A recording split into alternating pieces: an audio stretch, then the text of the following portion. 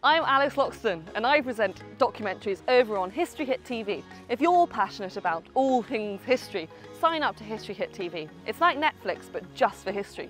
We've got hours of ad-free documentaries about all aspects of the past. You can get a huge discount from History Hit TV. Make sure you check out the details below and use the code Absolute History, all one word when you sign up. Now, on with the show.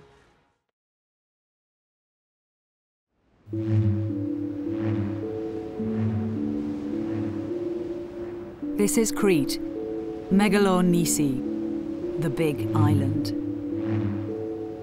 To the ancient Greeks, this was a dark and troubling place, where the appetites of a frightful monster could only be appeased with a tribute of human flesh. This was the Minotaur's Island, with a sinister labyrinth at its heart. Just over a hundred years ago, a British archaeologist called Arthur Evans came here to unearth the roots of these myths. He found a people lost to history for thousands of years. He called them the Minoans. The rediscovery of this sophisticated Bronze Age civilization astonished the world.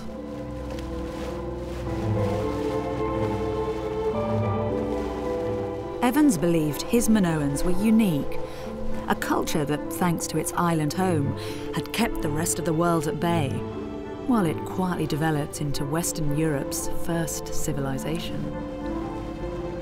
But new discoveries have revolutionized our understanding of the Minoans, adding fascinating layers of complexity to Evans' first draft.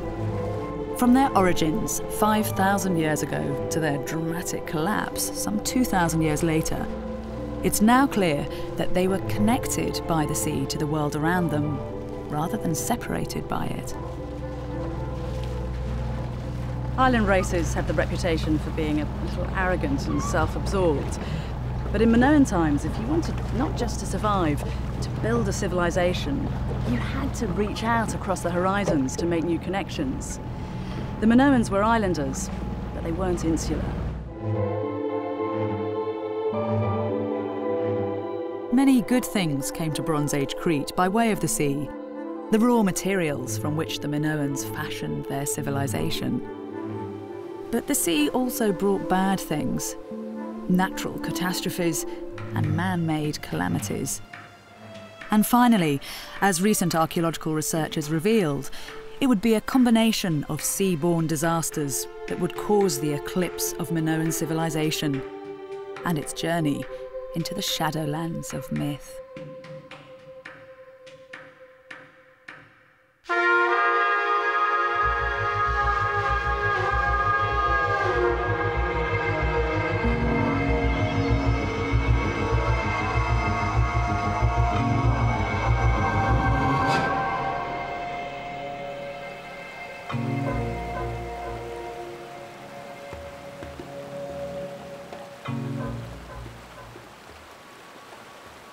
This is Mochlos, a tiny humpbacked island moored off the north coast of Crete. If you want to understand how the sea shaped the destiny of Minoan civilization, this is the place to come. Mochlos was first settled 5,000 years ago, and so belongs to the very beginning of the Minoan story. This busy town's prosperity depended above all on its port, the gateway that connected it to the wider world of the Aegean and the eastern Mediterranean. Just three weeks sailing could land the exotic wares of Egyptian merchants from the south on these shores.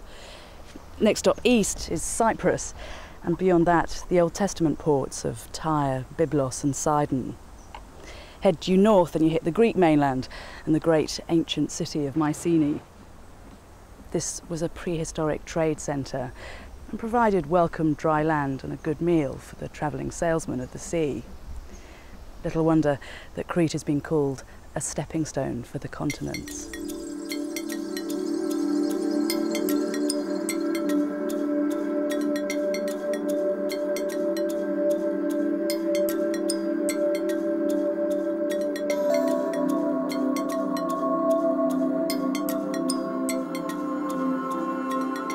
Hundred years ago, when Arthur Evans was making the first dramatic discoveries at Knossos, it was natural to stress the originality and distinctiveness of the Minoans.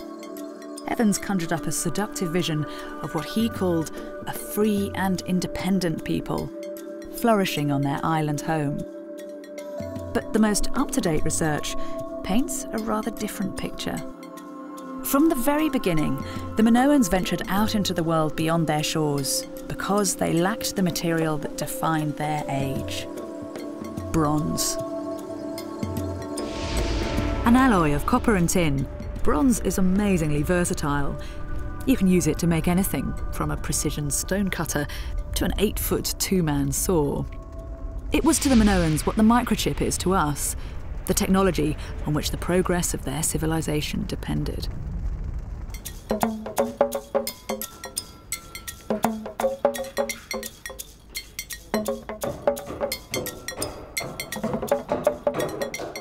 To its geographical position, close to the more advanced cultures of the Middle East, the secrets of bronze manufacture came early to Crete.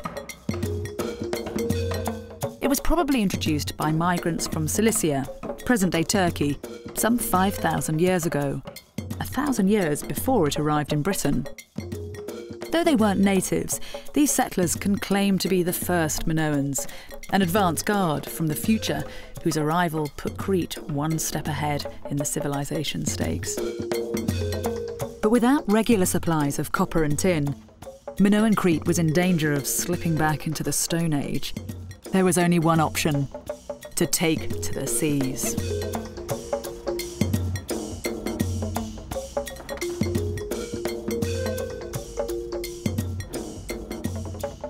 Ancient Greeks would have assumed that a legendary king like Minos would have had a powerful fleet at his disposal to see off pirates, to intimidate his neighbours, to bring in supplies for his population when necessary. But in the Bronze Age, this is what sea power was. This is a replica of a boat that went down off the coast of Turkey. It would have had just one sail, room enough for about 24 oarsmen, and it was made of a thin lattice of cypress wood with a cloth skin. In effect, it's nothing more than a giant kayak. But it was frail little vessels like this that headed off, often into hostile waters, packed with goods for barter and exchange, stitching together the cultures of the Eastern Mediterranean.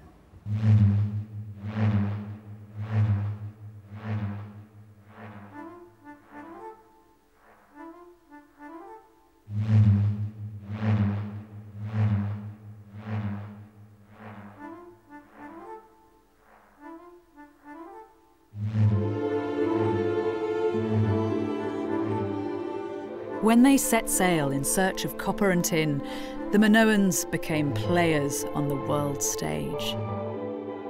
One of the frustrating things about them is the fact that they've left us little or nothing in the way of written records. But that doesn't mean that they left no historical trace. The cultures they came in contact with knew them and recorded them too. Think yourself back to some time in the middle of the 15th century BC. Imagine you're leaving Crete and boarding an Aegean trading vessel heading south to Egypt. After just 21 days travelling, you arrive at the Nile. There you pick up a barge and continue your journey to Thebes. And when you arrive, you're presented with a picture of the Minoans that's very different from the one painted by Arthur Evans. In the Valley of the Kings is the tomb of Rekhmire, a high powered Egyptian bureaucrat. The tomb offers us a snapshot of the people who fell within Egypt's sphere of influence.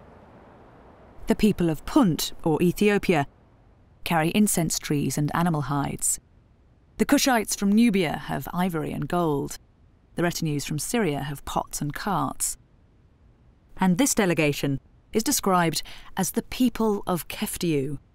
But from what they're carrying, we recognise them as Minoans.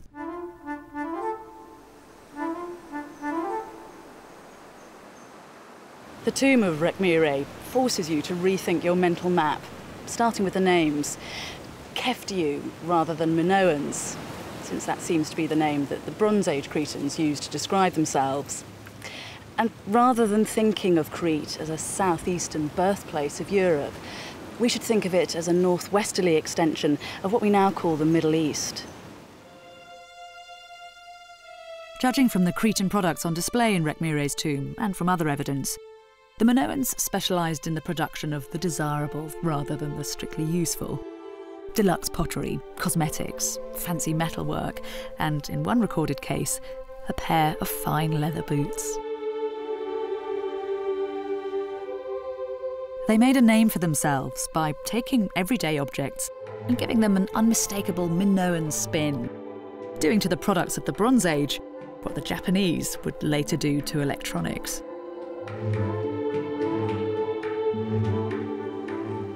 But there was one luxury product above all on which the reputation of this remarkable island workshop would have rested. And it started life under the sea.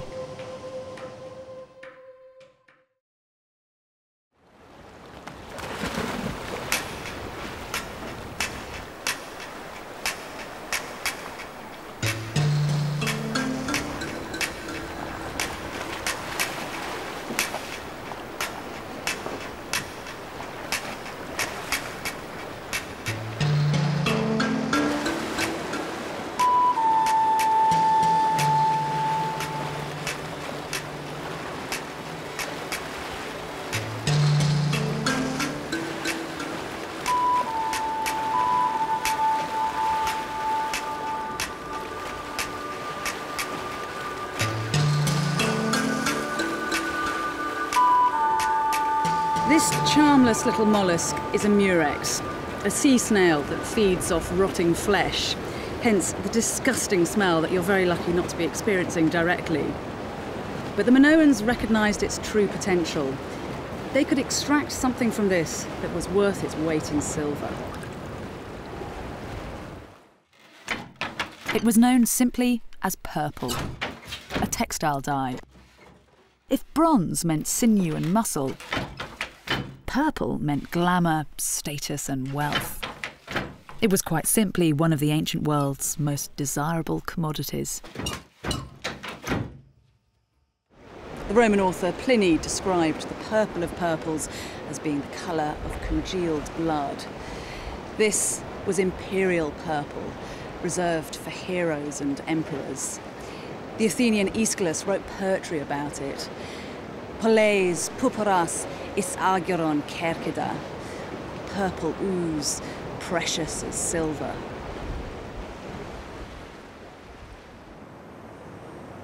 In classical times, the eastern city port of Tyre was recognised as the source for this precious dye. But recent archaeological work suggests that centuries before, the Minoans might well have pioneered the production of purple. Archaeologists working here at the port of Kommos found hundreds of murex dating back to the early Minoan period, many of them with a tiny, precise hole in the shell. Now, this hole isn't man-made, but mollusk-made. In the wild, the murex is a predator as well as a scavenger, hunting down other forms of shellfish, boring into them and then sucking out the insides. The murex here at Kommos seem to have had a taste of their own medicine, attacked by their own kind in a mass act of cannibalism. Now, when creatures behave like that, it suggests they're living uncomfortably close to each other. What you might have here is some form of factory farming. Mass production makes sense when you realise it took 12,000 murex to create enough dye to colour the hem of a single garment.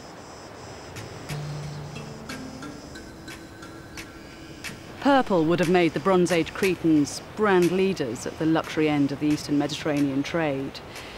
This rare, highly transportable commodity allowed them to exploit not just the needs, but the desires of their age. Every time a Cretan trader sealed a deal at the port of Tyre or the markets of Mycenae, the reputation of the Keftiu and their legendary island would have been magnified.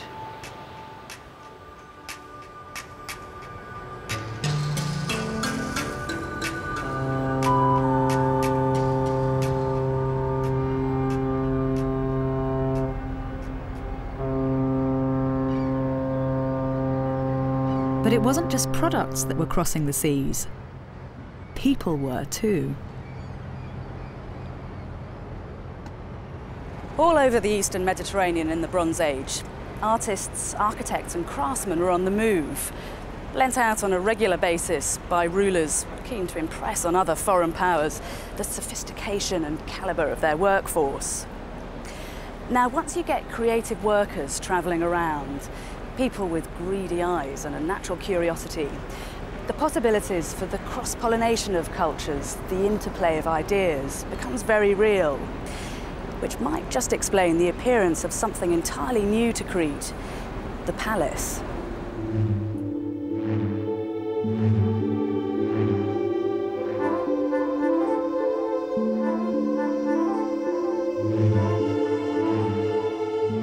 The arrival of these extraordinary and enigmatic buildings, a thousand years or so after the introduction of bronze to the island, marks another significant milestone in the evolution of Minoan culture. So far, palaces have been identified at Knossos and Malia on the north coast, at Zakros in the east, and here at Festos in the south. And archaeologists reckon they're on the scent of two or three more. Each has its own individual features, but they're all variations on the same basic theme of the labyrinth. But who wrote the original? Evidence suggests that around this time, migrant textile workers from Minoan Crete may have been active in Egypt, in which case it's possible that while they were there, they could have indulged in a bit of architectural espionage. The Cretans weren't the first to have a labyrinth. It's thought that honour belongs to the Egyptian kings who built a maze-like tomb near Crocodipolis, the city of crocodiles. The Egyptian labyrinth no longer exists, but it was described by an awestruck Herodotus, the Greek historian who paid it a visit sometime in the 5th century BC. Of its endless rooms and corridors and chambers, he wrote, Metona anthropeon ergon. It's hard to believe that this is the work of men. If someone familiar with the architectural triumphs of classical Greece was impressed, imagine the impact such a structure would have had when it was first built, around 1800 BC, when the wonders of the world were fewer in number. 1500 years before Herodotus, you can imagine Cretan migrant workers coming back home as fired up as he was, full of stories about a building that baffled the senses and left the visitor awestruck. And as they were building their own masterpieces, Perhaps they held that image of the Egyptian labyrinth in their minds.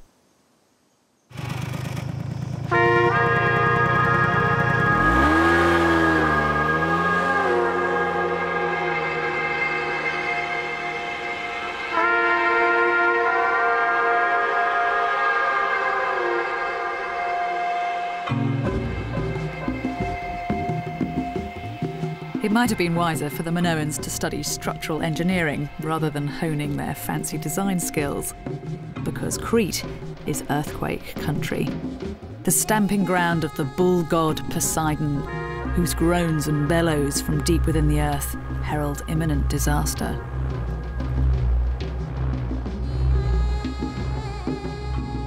Around 1700 BC, 200 years after they were built, the first palaces were destroyed in a series of devastating earthquakes. If pleasing the gods was part of the reason for building them, the gods didn't stay pleased for long. It says a lot for the resilience of the Cretans that within 50 years of the calamity, they'd built new palaces on the site of the old ones, bigger and better than those that had been destroyed. But alongside the palaces, a new kind of building began to appear in this period that is just as telling about the kind of place Minoan Crete had become. Country villas, like this one at Vathypetro, surrounded now as it would have been three and a half thousand years ago by its own vineyards.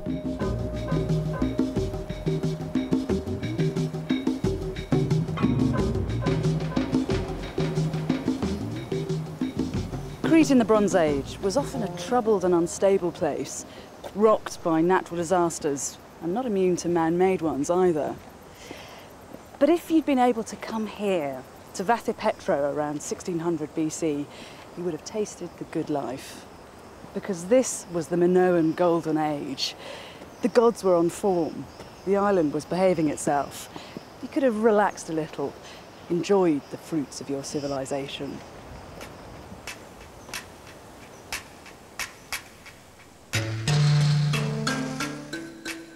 Minoan palaces have been compared to medieval monasteries, which would make Vathypetro and the other places like it the equivalent of stately homes, the big house for the surrounding area. The main building would have been two, possibly three stories high, with some fine rooms on the east side, perfect for taking in the morning sunshine. In the courtyard was a shrine, and around the back, extensive workshops, so this would have been a hive of activity in its day.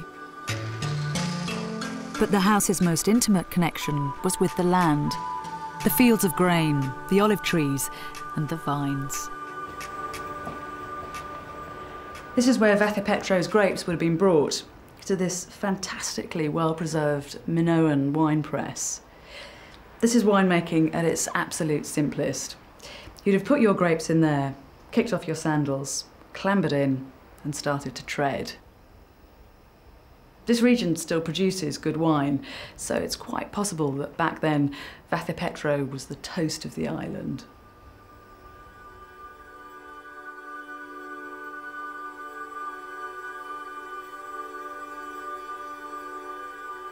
But perhaps the most significant thing about Vathypetro is what you don't see here. Despite the wealth of Vathypetro and of other country villas dotted around the island, there's no evidence of any kind of fortification. Now, that's significant. In the same period, over on the Greek mainland, Mycenaean warlords, the forefathers of the generation who would go on to fight the Trojan War, were holed up in fortress palaces, often built on rocky heights, divorced from the settlements down below, strongholds from which they could dominate and into which they could retreat. Here in Minoan Crete, a different spirit prevailed. Seven or eight generations would have known an island of huge palaces, busy towns, prosperous ports, and fine villas set in a peaceful agricultural heartland. A country at ease with itself. But this stable, sophisticated world existed on a knife edge.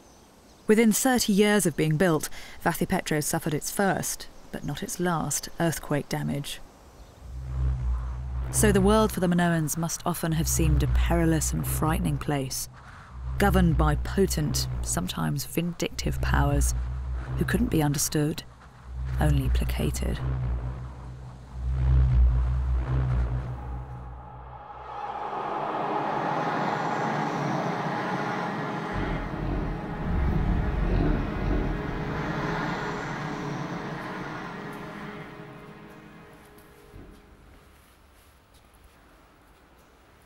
This is the presiding spirit of Minoan Crete in its golden age, its icon and its pin-up girl, the snake goddess. Together with her more diminutive companion, often called the votary, she was discovered by Arthur Evans at Knossos. Evans noted rather primly in his journals her matronly bosom before going on to describe the quality of the piece, comparing it to the best Meissen porcelain. The goddess and her votary make a handsome duo, with their fancy, fashionable clothes, their makeup, and their jewellery. But all the fine craftsmanship in the world can't disguise the fact something elemental and wild is going on here.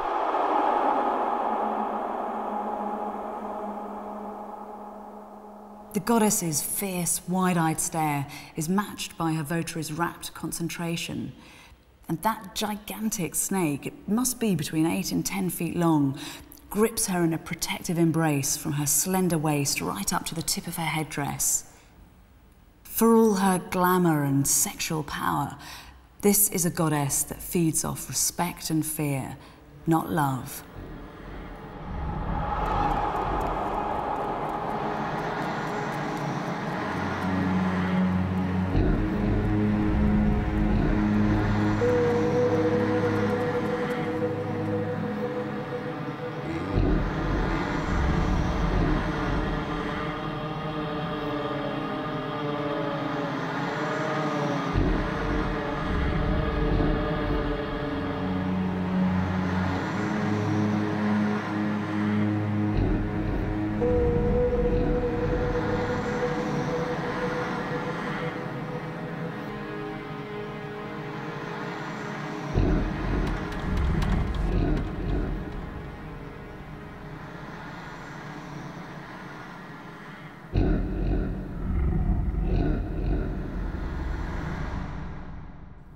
Precise details of Minoan beliefs and rituals have been lost, but tantalising clues remain in seal stones and signet rings, widely used in Minoan Crete as stamps of ownership and identity, and even, it's been speculated, the Bronze Age equivalent of a credit card.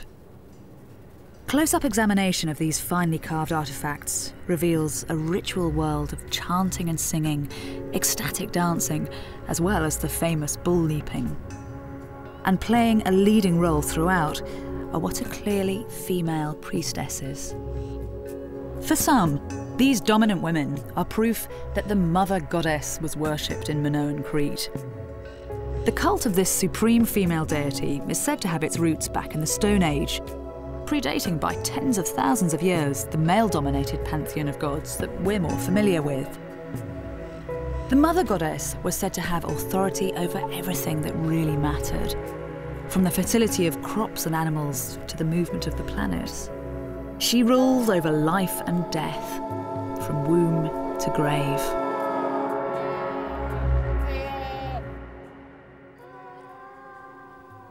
The existence of one top female god is pretty hotly disputed these days. What seems much more likely is that the island was crammed with a whole host of nature goddesses, each with her own particular area of responsibility, bringing the rain, ripening the corn, keeping those terrifying earthquakes in check. The priestesses were their earthly representatives and may even have had some kind of economic control over the exploitation and distribution of their bounty, a powerful position to be in. But you have to remember in the Bronze Age that man's relationship with nature was much more about negotiation than exploitation. When it took just two bad harvests to wipe out your entire food supplies, you'd have been a fool to take Earth's plenty for granted. So, led by their elegant priestesses, the Minoans would have spent a great deal of time and energy wooing and placating the powers that be.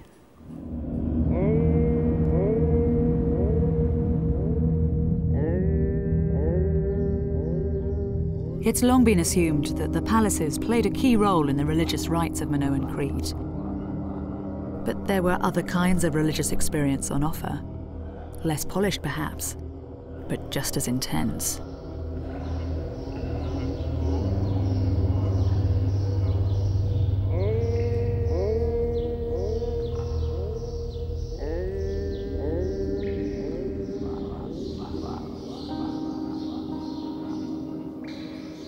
On mountain peaks, in secret palace shrines, deep in sacred caves, narcotics would have played a part in consummating the Minoans' relationship with their gods, bringing them closer to those elusive powers that controlled their lives.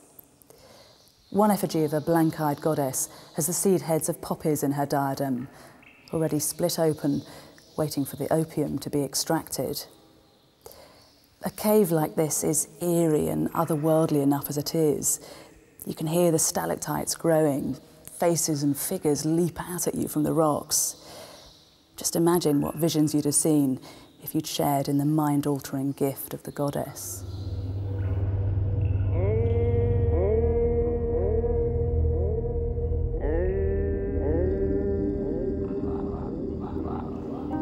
Skotino is a place where religious experience would have been raw and intense, where faith was dosed with fanaticism, where followers became true believers. But what happened to those true believers when things started to go wrong? When the deities in whom they'd invested so much suddenly appeared no longer to care? The Minoans were soon to find out.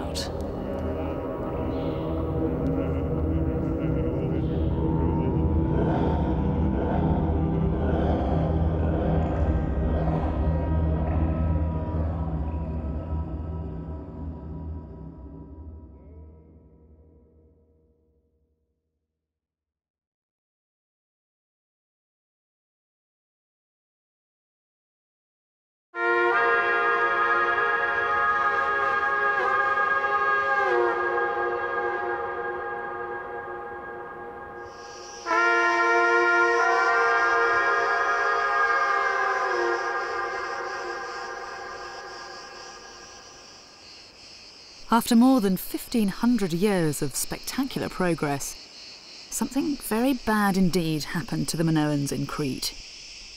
Sometime around 1450 BC, from Vathypetro to Mochlos, from Festos to Malia, towns, ports, country houses, and palaces all went up in flames. All, that is, except for the preeminent palace, Knossos. Hatia Triada, you can still see the scorch marks of the fire that raged here three and a half thousand years ago. This was a storeroom packed with pithoi, those giant Ali Baba jars, each of which could hold 40 gallons of highly flammable olive oil. When this place went up, it was the Bronze Age equivalent of a fire in an oil refinery. The heat was so intense that the stone floor has vitrified, turned to glass.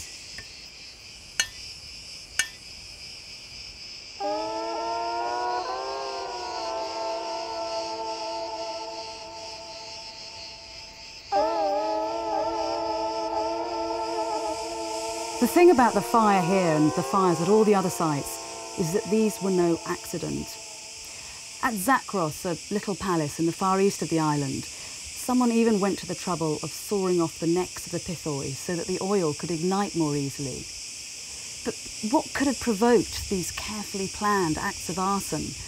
And what lay behind this island wide catastrophe?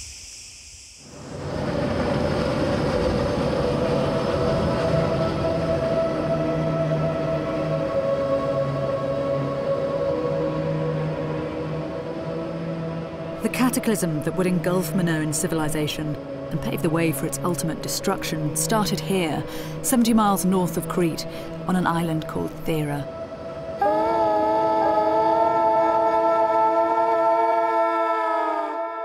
Thera is the southernmost of the Greek Cycladic islands, perfectly placed to act as a middleman for the trade routes that ran north from Crete to the Greek mainland and across to the coasts of Asia Minor. The Therans weren't Minoans, but they were under the spell of Minoan culture. Their pottery, their houses, their way of life all followed a pattern set by the big island to the south.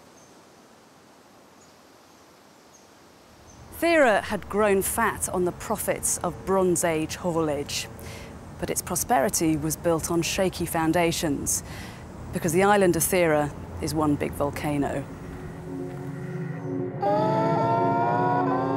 At some point around 1530 BC, the island began to stir. First came a series of earthquakes, so severe that most of the towns had to be abandoned.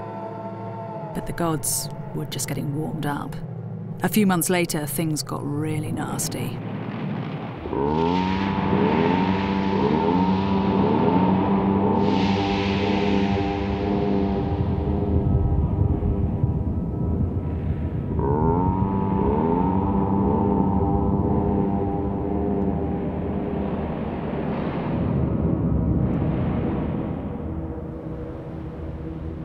Ten times more powerful than the eruption of Vesuvius that buried Pompeii, four times greater than Krakatoa, the eruption of Thera was a true cataclysm. A third of the island's landmass, some 30 million cubic metres of hills and fields and towns, was tossed 20 miles into the air or slipped into the sea. The rest was buried beneath a blanket of ash and stones to a depth of 40 metres.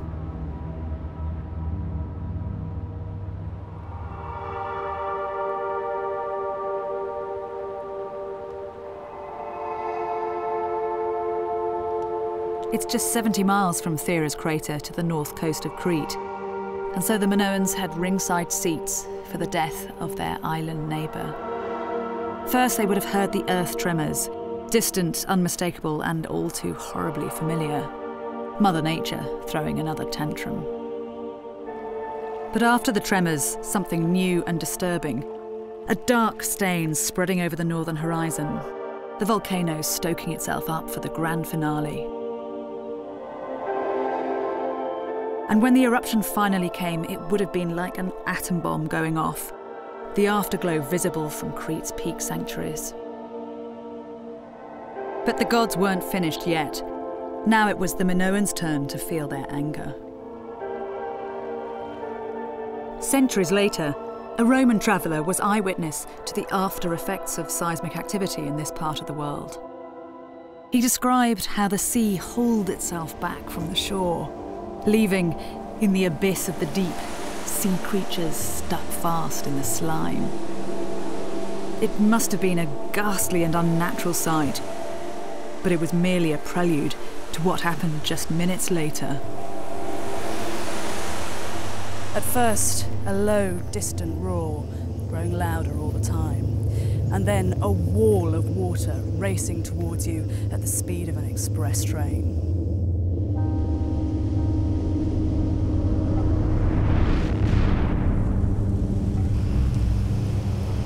The impact of the tsunami following Thera varied across the northern coast of Crete. In some places, there were waves between 10 and 20 feet tall. Impressive enough. But here at Mochlos, it's estimated that they reached 100 feet high. That's higher than the island itself. It would have swamped the town, plucking boats out of the sea and spewing them up far inland.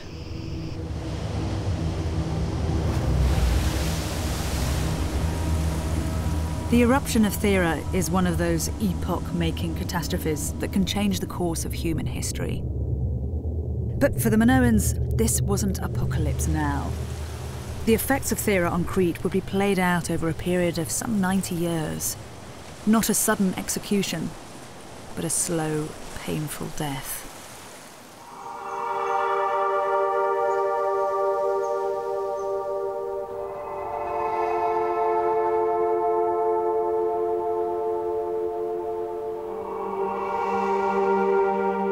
After the tidal wave would have come the ash clouds, blotting out the sun, smothering the fields, poisoning water supplies, suffocating plants and animals. The effects would have varied across the island, with the east the worst hit. But farming in the Bronze Age was a fragile affair, and it wouldn't have taken much to jeopardise the harvest. If the effects of Thera were as profound as many believe, Widespread famine would have marked the beginning of a long and troubled era for Crete. Ultimately, it would pave the way for the violent climax of 1450 BC, when Aya Triada and other major centres of Minoan power went up in flames.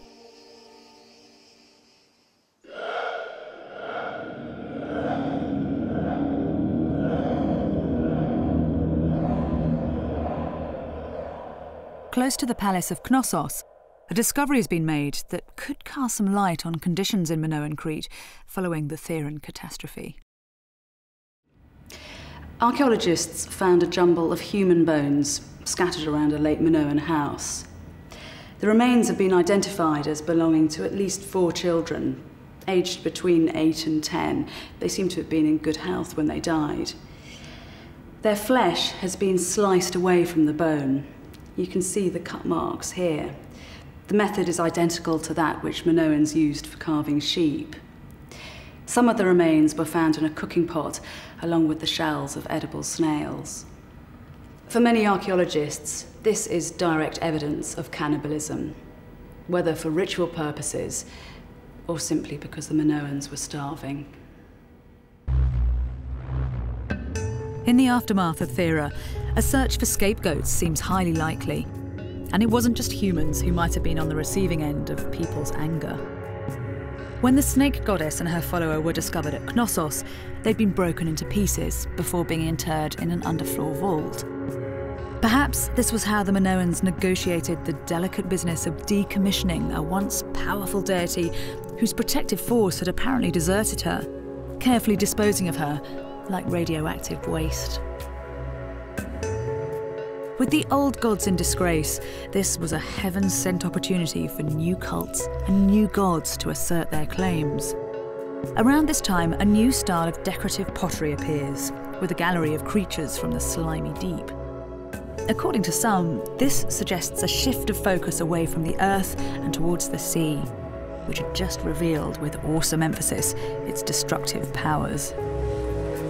So, was this how the sophisticated and apparently stable Minoan civilization collapsed? Not blown apart by a natural disaster, but undermined by wars of religion that followed the cataclysm. A recent discovery may hold a tantalizing clue to the forces that would finally tear Minoan civilization apart.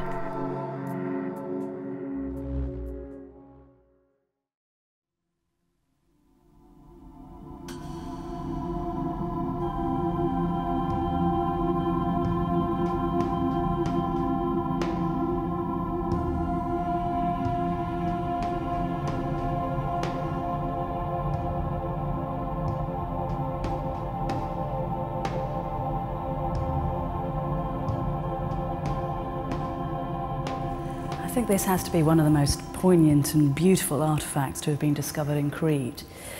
He's called a kouros, which means a boy. He would have been decorated with rock crystal and gold, and his body is made of hippopotamus ivory. The choice of that material, which was valuable and exotic, combined with his stance, which is sublime, yet with a quiet power, suggests that what we have here is no mere boy. This is a boy god.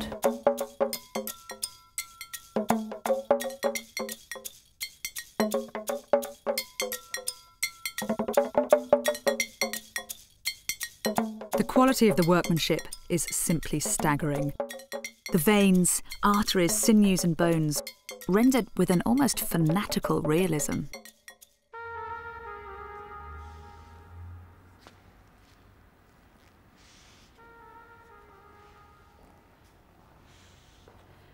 But of course, what strikes you first about the figure is its desecration. Those scorched, blackened limbs, the face sliced off, reminiscent of a Catholic saint in the English Reformation. And this boy has been symbolically and physically emasculated. His genitals are torn away. Despite his perfection, or perhaps because of it, this young god provoked in someone a passionate hatred.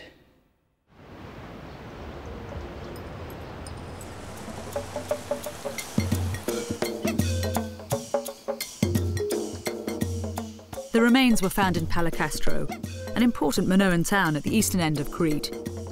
The litter of burned fragments was scattered around a purpose built shrine in which the kouros would have been displayed. When the shrine was first excavated, the telltale signs of fire damage soon appeared. But this was no ordinary fire. Like the one at Aya Triada, it was started deliberately. In fact, the fire's ferocity was intensified by blocking up doorways to create a through draft, like a blast furnace. The result was a kind of controlled explosion that tore the place apart. Then the attackers turned their attention to the kouros. The kouros was snatched from the sanctuary, broken at its base, and then smashed face first against this doorpost. Its head, its neck, and one of its arms flew off a couple of yards over there. Its torso and its remaining arm fell where I'm standing. Its hair, which would have been made of finely wrought gold filaments, was carried off on the wind generated by the fire. And finally, its legs, which had served as a convenient handhold, were tossed back into the sanctuary, where they burnt at temperatures of over 1,800 degrees. When times get tough, even the most outward looking cultures can turn in on themselves. And despite the long Minoan tradition of artistic innovation, the social dislocation caused by Thera may have brought more fundamentalist instincts to the surface. Maybe there was something about the Kouros that was just too new, too alien. To some, it may have seemed a graven image or a foreign god. But perhaps the greatest affront was that this was a male god.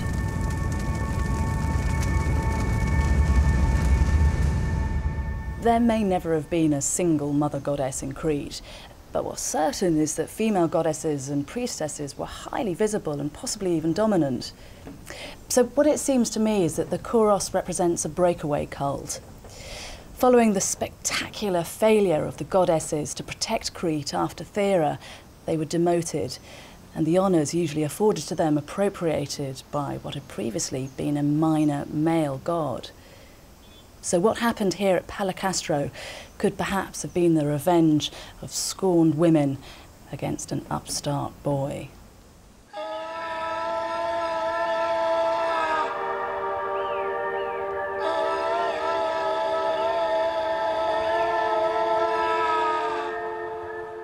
A civil war sparked by religion is only one of a number of theories that might explain why Minoan civilization collapsed sometime around 1450 BC. All we do know for sure is that by then, Greek speaking Mycenaeans from the mainland were installed at Knossos. Whether they came as conquerors or simply stepped in to pick up the pieces isn't clear. But they were, in many ways, the last Minoans rebuilding some of the ports and palaces that had been destroyed, putting the island back on its feet. For the next two centuries, the fortunes of the Minoans and the Mycenaeans were inextricably linked. According to Homer, one of the largest contingents of ships for the Mycenaean assault on Troy came from Crete. But if the islanders shared in the triumphs of the mainlanders, they would also share their fate. Around 1200 BC, Mycenaean power on the Greek mainland was destroyed. Massive tribal movements, slave revolts, civil war have all been blamed. But whatever it was that did for the Mycenaeans, it didn't confine itself to the mainland. Sooner or later, it crossed the sea and found its way to Crete. The remnant of Minoan civilization was forced to take refuge in remote mountain hideouts like this one, When we talk about the death of a civilization, it conjures up apocalyptic visions, tinged with flames and blood. But for the Minoans, the end came creeping in like a chill mist.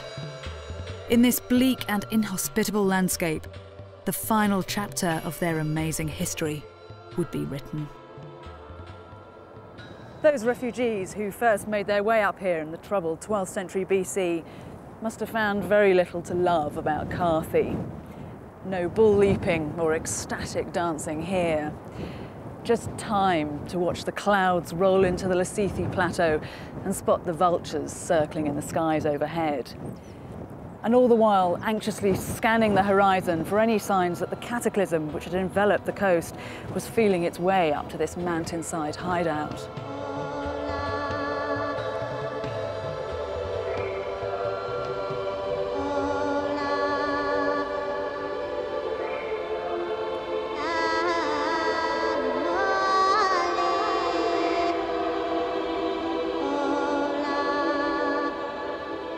Never know for sure exactly why the Minoans abandoned their palaces and set out for places like Karphi. But what I think you can say with absolute certainty, standing here on the edge of the world, is that the people who came here were very, very scared. So scared that it would take a hundred years before they dared to venture back down to the lowlands.